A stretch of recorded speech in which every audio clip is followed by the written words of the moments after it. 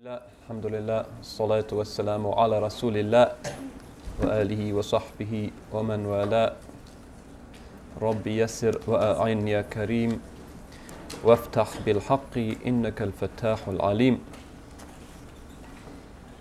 I can almost hear the caterers shaking their fist at me yesterday after the uh, subject that we discussed. I'm sure there were plenty of leftovers. But it is an important subject. it might appear a superficial one and its remedy simple. But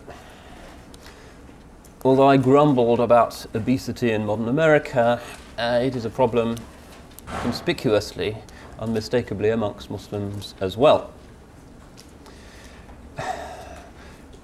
Differently amongst men and women, but no less acutely. Uh, amongst women, partly because of a certain confinement to the home and the absence of any real tradition of their taking exercise, particularly now that nobody walks, and in a traditional Muslim city, to get around to visit your parents or whoever, you would walk or ride a donkey, which was also quite strenuous in its way. Uh, if you moved between cities, by the time you got from Cairo to Baghdad, whichever way you did it, you would be pretty fit. Nowadays, we all glide around in automobiles and we get pretty bloated as a result.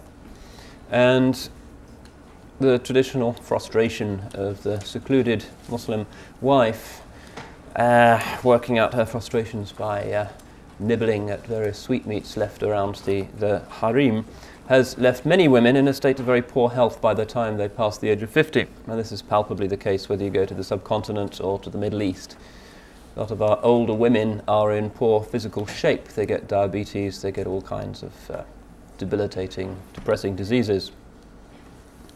So they, as well as the men, can read these chapters. And amongst the men, the problem is more acute in that sometimes a certain largeness can be equated in Muslim societies with self esteem. Seems very str- strange in the West. But to have a kirsch or a big belly is actually quite uh, an impressive thing for uh, an Arab male and in other parts of the Muslim world as well. And if you've lived in those societies, you know that this is the case. You're expected to be taken more seriously if you're physically heavy. And it's got something to do with a set of expectations, forms of self regard amongst Muslims, uh, that to those of us who have been shaped to whatever degree by the West can seem extremely strange.